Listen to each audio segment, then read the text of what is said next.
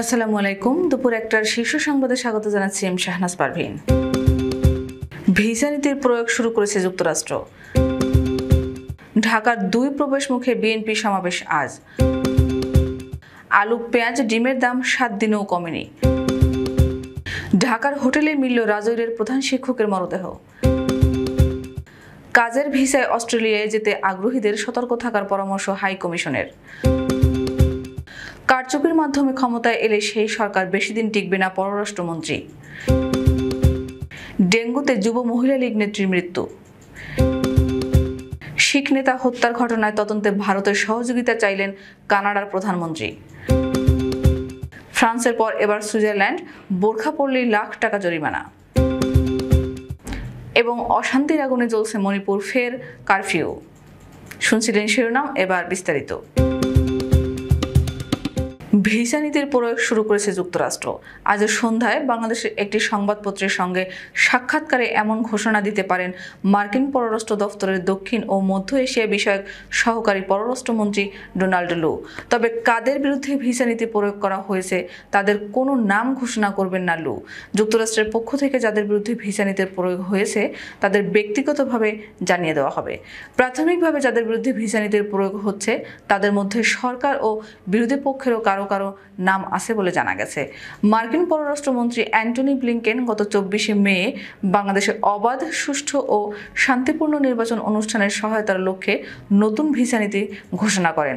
গণতান্ত্রিক নির্বাচন প্রক্রিয়াকে বাধাগ্রস্ত করে এমন বর্তমান ও সাবেক বাংলাদেশি কর্মকর্তা, সরকার ও বিরোধী দলীয় রাজনীতিবিদ আইন শৃঙ্খলা বাহিনীর সদস্য, বিচার বিভাগের সদস্য, নিরাপত্তা বাহিনীর সদস্যদের বিরুদ্ধে এ পদক্ষেপ নেওয়া হতে পারে। সরকারের পদত্যাগ সহ বিএনপি চেয়ারপারসন বেগম খালেদা জিয়ার মুক্তির এক দফা দাবিতে ঢাকার দুই প্রবেশ মুখে বিএনপির সমাবেশ আজ শুক্রবার। এটি বিএনপির লাগাতার কর্মসূচির তৃতীয় দিন। আজ শুক্রবার ঢাকা মহানগর উত্তর ও দক্ষিণ বিএনপি সমাবেশ ছাড়াও একই দিনে বাদ জুমা বিএনপি চেয়ারপারসন বেগম খালেদা জিয়ার আশু রোগমুক্তি কামনায় সারা দেশের মহানগর, জেলা, উপজেলা ও পৌরসভায় দোয়া মাহফিল অনুষ্ঠিত হবে। ঢাকা মহানগর উত্তর বিএনপি বেলা তিনটায় আবদুল্লাপুর পলওয়ে মার্কেটে সংলগ্ন ময়দান সমাবেশ করবে।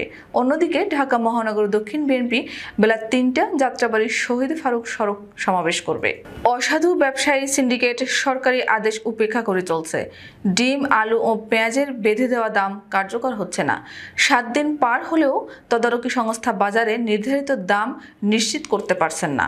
পরিস্থিতি সামাল দিতে বাণিজ্য মন্ত্রণালয় দুই দফায় দশ কোটি ডিম আমদানির অনুমতি দিয়েছে। এরপরেও বাড়তি দরেই বিক্রি হচ্ছে। পেঁয়াজ কিনতে ক্রেতার এখন কেজি প্রতি গুনতে হচ্ছে সর্বোচ্চ আশি টাকা। পাশাপাশি সিন্ডিকেট ভাঙতে না পেরে অসহায়ত্ব প্রকাশ করে জাতীয় ভোক্তা অধিকার সংরক্ষণ অধিদপ্তরের পক্ষ থেকে আলু আমদানির সুপারিশের হুঁশিয়ারি দেওয়া হয়েছে। মূল্য নির্ধারণে সরকারি সিদ্ধান্তে ক্রেতার কোনো লাভ হচ্ছে না। পণ্য তিনটি বাড়তি দামে কিনতে হচ্ছে। ঢাকার একটি আবাসিক হোটেল থেকে মাদারীপুর জেলার রাজৈর বালিকা উচ্চ বিদ্যালয়ের প্রধান শিক্ষক মনীন্দ্রনাথ বারুর মরদেহ উদ্ধার করেছে শাহবাগ থানা পুলিশ। বৃহস্পতিবার রাত আটটার দিকে হোটেলের একটি কক্ষ থেকে তার মরদেহ উদ্ধার করে ময়নাতদন্তের জন্য ঢাকা মেডিকেল হাসপাতাল মর্গে পাঠানো হয়। রাজৈর থানা পুলিশ ও পারিবারিক সূত্রে জানা গেছে, রাজৈর উচ্চ বালিকা বিদ্যালয়ের ক্যাম্পাসের একটি কোয়ার্টারে পরিবার নিয়ে বসবাস করতেন প্রধান শিক্ষক মনীন্দ্রনাথ বারুই। বৃহস্পতিবার সকালে স্কুলের কাজের কথা বলে ঢাকায় যান তিনি। দুপুরের পর থেকে তার স্ত্রী প্রধান শিক্ষকের মোবাইল ফোন নম্বর বন্ধ পাচ্ছিলেন। কোনোভাবেই পরিবারের সদস্যরা তার সঙ্গে দিনে যোগাযোগ করতে পারেননি। রাত আটটার দিকে পুলিশের মাধ্যমে পরিবারের লোকজন জানতে পারেন যে ঢাকার তোপখানা রোডের হোটেল রয়্যাল গ্র্যান্ড হায়াতের একটি কক্ষ থেকে প্রধান শিক্ষক মনীন্দ্রনাথ বারুর মরদেহ উদ্ধার করা হয়েছে। কাজের ভিসায় অস্ট্রেলিয়ায় যেতে আগ্রহীদের সতর্ক থাকার পরামর্শ দিয়েছে দেশটিতে অবস্থিত বাংলাদেশ হাই কমিশন। আজ শুক্রবার এক প্রেস বিজ্ঞপ্তিতে হাই কমিশন বলেছে, কতিপয় অসাধু ব্যক্তি ও প্রতিষ্ঠান কাজের প্রলোভন দেখিয়ে অস্ট্রেলিয়ার ভিসা পেতে আগ্রহীদের কাছ থেকে লাখ লাখ টাকা হাতিয়ে নিচ্ছে।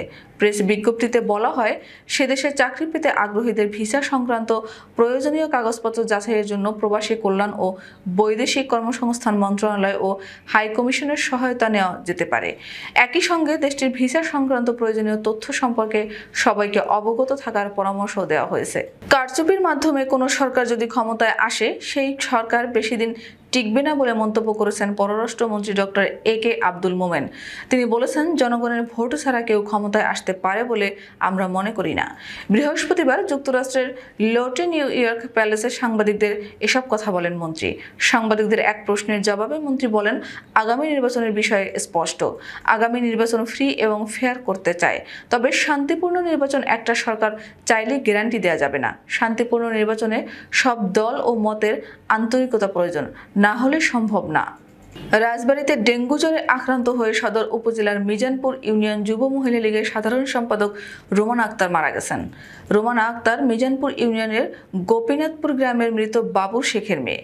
বৃহস্পতিবার রাত এগারোটার দিকে ফরিদপুর বঙ্গবন্ধু শেখ মুজিব মেডিকেল কলেজ হাসপাতাল থেকে ঢাকায় নেয়ার পথে তার মৃত্যু হয়। মিজানুর ইউনিয়নের চেয়ারম্যান টুকু মিজি বলেন, চারদিক আগে হঠাৎ করে জ্বর আসে রোমানার। বুধবার বিকেলে রাজবাড়ির একটি বেসরকারি ক্লিনিকে রক্তের পরীক্ষার পর ডেঙ্গুতে আক্রান্তের বিষয়টি জানা যায়। সে সময় তার রক্তের প্লাটিনেট একাশি হাজার থাকায় দ্রুত রাজবাড়ী সদর হাসপাতালে ভর্তি করা হয়। শিখ নেতা হরদীপ সিং নিজার হত্যাকাণ্ডের তদন্তে ভারতের সহযোগিতা চেয়েছেন কানাডার প্রধানমন্ত্রী জাস্টিন ট্রুডো। তবে তার কাছে যে তথ্য প্রমাণ আছে তা প্রকাশ করতে অস্বীকৃতি জানিয়েছেন। অন্যদিকে ভারতের পররাষ্ট্র মন্ত্রণালয় বলেছে, কানাডা তাদেরকে এ বিষয়ে সুনির্দিষ্ট কোনো তথ্য দেয়নি। উল্লেখ্য, এ ইস্যুতে দুই দেশের মধ্যকার সম্পর্কে বড় রকমের ফাটল ধরেছে। পাল্টাপাল্টি কূটনৈতিক বহিষ্কার করা হয়েছে। কানাডিয়ানদের জন্য ভারতের ভিসা বন্ধ করা হয়েছে। কানাডায় ভারতের বিরুদ্ধে বিক্ষোভ করেছেন, সেখানে বসবাসরত ভারতীয় শিখ সম্প্রদায়। আগামী সোমবার তারা কানাডায় ভারতীয় কূটনৈতিক মিশনগুলোর বাইরে বিক্ষোভ কর্মসূচি ঘোষণা করেছেন। বেলজিয়াম ও ফ্রান্সের পর এবার সুইজারল্যান্ড।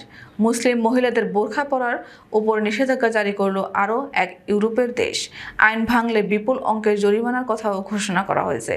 বুধবার সুইস পার্লামেন্টের নিম্নকক্ষ ন্যাশনাল কাউন্সিলে এই সংক্রান্ত একটি বিল পাশ হয়। বিলটির পক্ষে ভোট পড়েছিল একশো একান্ন। অন্যদিকে বিপক্ষে পড়ে মাত্র উনত্রিশটি ভোট। উল্লেখ্য, বিলটি আগেই পার্লামেন্টের উচ্চকক্ষের অনুমোদন পেয়েছিল। সংসদে বিলটি আনে ডানপন্থী সুইস পিপলস পার্টি, যার বিরোধিতা করেছিল কেন্দ্রবাদী এবং গ্রিনসরা। নতুন আইন অনুযায়ী ইউরোপের এই দেশে মুসলিম মহিলারা বোরখা ও নিকাব পড়তে পারবেন না। ভারতের অশান্ত মণিপুরে এখনও শান্তি ফেরেনি। সাধারণ মানুষের কথা বিবেচনা করে কঠোর বিধি নিষেধ শিথিল করা হলেও আবারও জারি করা হয়েছে কারফিউ। ইম্ফলের পূর্বাঞ্চলে ভোর পাঁচটা থেকে রাত নয়টা পর্যন্ত কারফিউ শিথিল করা হয় যেন সাধারণ মানুষ তাদের প্রয়োজনীয় জিনিসপত্র কেনাকাটা করতে পারেন। কিন্তু বৃহস্পতিবার তড়িঘড়ি তুলে নেওয়া হলো সেই কারফিউ শিথিলতা। খবরে বলা হয় যে পাঁচজন গ্রামরক্ষককে পুলিশ গ্রেফতার করেছে তাদের মুক্তির দাবিতে বৃহস্পতিবার হঠাৎ মণিপুরের বিভিন্ন উপত্যকার স্থানীয় নারীরা থানায় হামলা চালান। বৃহস্পতিবার দুপুর দেড়টা পর্যন্ত পশ্চিম ইম্ফলের সিংজামেই পুলিশ স্টেশনে কয়েক হাজার প্রতিবাদী জড়ো হয়ে বিক্ষোভ করেন। আমাদের পরবর্তী বিকেল চারটার সংবাদ দেখার আমন্ত্রণ জানিয়ে এখনকার মতো বিদায় নিচ্ছি। দর্শক, ভিডিওটি শেষ পর্যন্ত দেখার জন্য আপনাকে অসংখ্য ধন্যবাদ। নিত্য নতুন সংবাদ পেতে আমাদের ইউটিউব চ্যানেলটি সাবস্ক্রাইব করুন ও নিয়মিত নোটিফিকেশন পেতে বেল বাটনটি ক্লিক করুন এবং আমাদের ফেসবুক পেজটিতে লাইক করুন। এছাড়াও আমাদের ভিডিওতে লাইক দিয়ে শেয়ার করুন। আল্লাহ হাফেজ।